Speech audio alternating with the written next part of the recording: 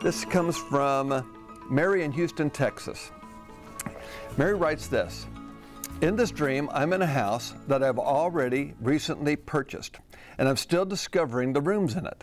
My 22 year old son is in the dream, and my 80 year old mother. In real life, my son is a, a musician and is attending college. I'm walking my mom through the home, going through the doors into various rooms.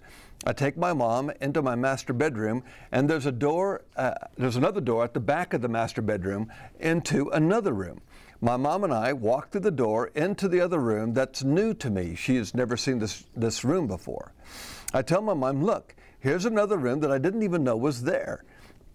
It's as if an extra master bedroom was attached to the house be, behind my master bedroom. The house appeared to be a long one story room.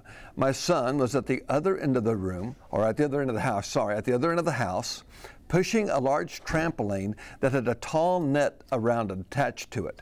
Various musicians uh, or musical instruments were attached to the net, whereby anyone could stand on the trampoline and play the various instruments attached to the net. So it's like a, a, a, trampoline round net all the way around musical instruments hanging on, on the net. My son was pushing the large trampoline down the hallway to his end of the home.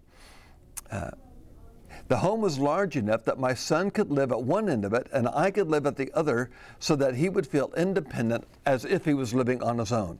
What does this dream mean? Well, Mary, basically, what this dream is telling you is that he, there's many changes coming to your life. There's things that are about to happen to you that you didn't, didn't anticipate and didn't even know could happen to you.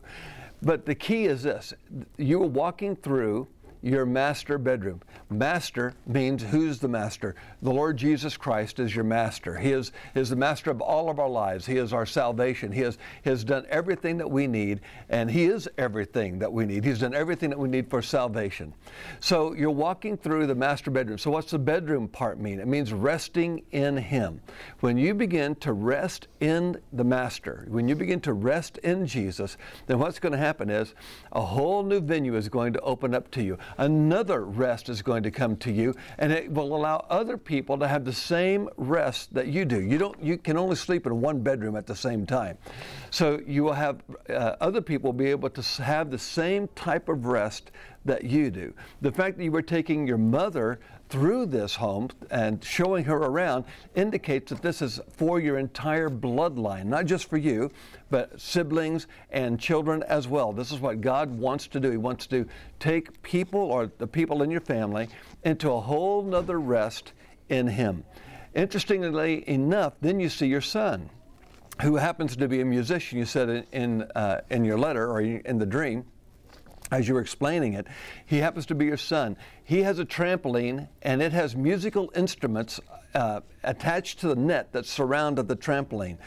Now your dream shifts to being about you and giving others rest and the bloodline to now your son, who is going to also be able to have this type of rest in, in the Lord, eh, kind of like a master's rest. But it's letting you know this in his musical career, or because he's a, he's a musician, in his musical career, you're going to end up, he's going to end up having ups and downs. And as he has those ups and downs, God has created a safety net around him so that even though he may, go, he may have some ups and downs, he actually will end up being protected in that period so that he doesn't fall off the trampoline, doesn't get hurt on the trampoline.